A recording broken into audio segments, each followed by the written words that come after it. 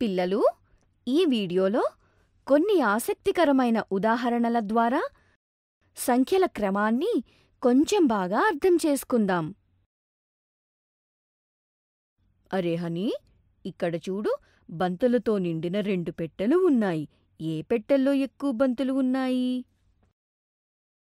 ఇక్కడ ఒక పెట్టెలో ఒకటి రెండు మూడు నాలుగు ఐదు ఆరు ఏడు ఎనిమిది తొమ్మిది పది బంతులు. రెండవ పెట్టెలో ఒకటి రెండు మూడు నాలుగు ఐదు ఆరు ఏడు ఎనిమిది బంతులు. కాబట్టి ఇక్కడ మొదటి పెట్టెలో రెండవ పెట్టె కంటే ఎక్కువ బంతులు ఉన్నాయి.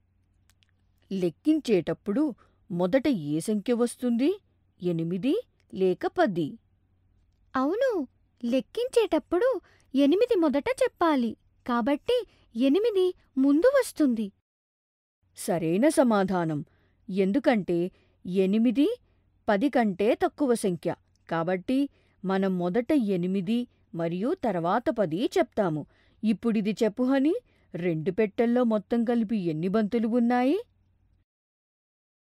రెండు పెట్టెల్లో మొత్తం కలిపి పది మరియు ఎనిమిది. పద్దెనిమిది బంతులు ఉన్నాయి. ఇప్పుడు నేను మూడవ పెట్టెను ఇక్కడ ఉంచాను. దీంట్లో తొమ్మిది బంతులు ఉన్నాయి. ఇప్పుడిది చెప్పు ఈ మూడు పెట్టెల్లో అతి తక్కువ బంతులు ఏ పెట్టెలో ఉన్నాయి? ఇక్కడ మొదటి పెట్టెలో పది బంతులు రెండవ పెట్టెలో ఎనిమిది మరియు మూడవ పెట్టెలో తొమ్మిది బంతులు ఉన్నాయి.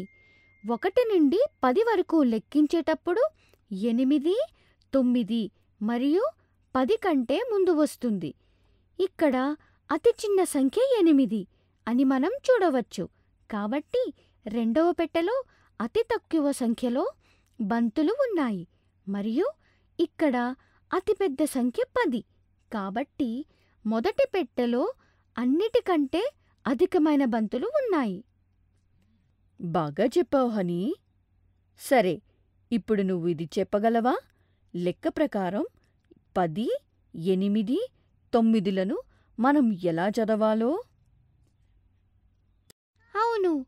లెక్కించేటప్పుడు ఎనిమిది ముందు చెప్తాము తరువాత తొమ్మిది మరియు పది చెప్తాము.